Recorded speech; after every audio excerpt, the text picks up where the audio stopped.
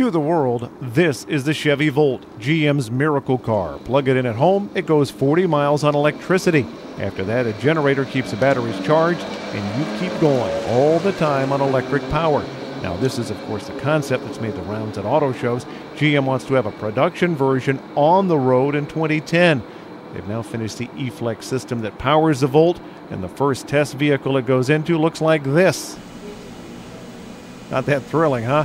That's actually an old Chevy Malibu, an old one, not even the latest model. While GM engineers test the system, and this vehicle is fine for that, designers will refine what the final Volt, the production version, will actually look like. They're using wind tunnels to check out the aerodynamics. That's important for all vehicles, but it's exceptionally important if you want to get exceptional fuel economy. Now, this is a one third scale model of what they believe the final production Volt will look like. Obviously, very heavily camouflaged. First reaction, I thought it looked like a Pontiac G6, then maybe a Camaro. And, well, then I was totally confused, and that's the point of it.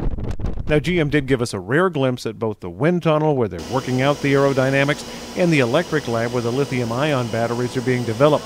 By the way, that lithium ion battery on the right is the same power, but one third the size of the battery on the left. That battery on the left that's signed by a bunch of people is one that powered the EV1 electric car. Boy, they've made a lot of progress in a decade. We'll talk about that in just a minute with Micky Bly. He's the chief engineer of GM's hybrid and electric vehicle program. But first, he updates us on how things are going and where they go from here in the Volt testing program. Now, what we're doing is going to that next step of putting lithium ion in board, which everybody's been talking about, to be able to get that 40 miles of electric range. And uh, we've learned a lot. We've got a lot more to do. Do you feel you can get that 40 miles?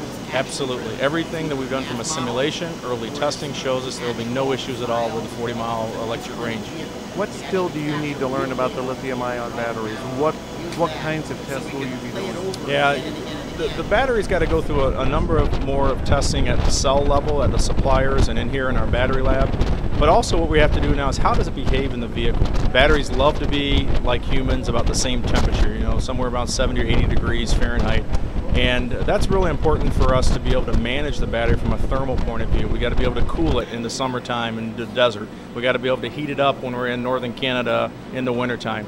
Those are really the last kind of avenues of understanding how this battery behaves. What's amazing is you've got one of those batteries sitting next to an EV1 battery, about 10 years difference in technology, but it's the same power and one third the size. Absolutely. It's kind of like going from the mainframe computers to your desktop to your laptops to your Blackberries. You know, the, the computing power that's out there is pretty much as a revolutionary change in the last 10 years in battery technology.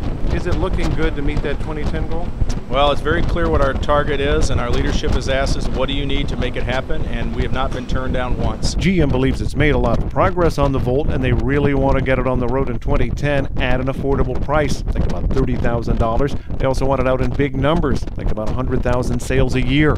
Now, it's hard to determine an exact fuel economy rating for something like the Volt. Of course, if you only drive short trips under 40 miles, it's all electric. You use no gasoline. But if you take a long trip, say you drive across country, well, then maybe you get about 50 miles per gallon, they say. GM thinks on average, most people will get about 150 miles per gallon using the Volt. With new fuel economy rules, the Volt could go a long way in offsetting some of GM's bigger vehicles as they need to average 35 miles per gallon by 2020. I'm AutoBeat reporter Jeff Gilbert.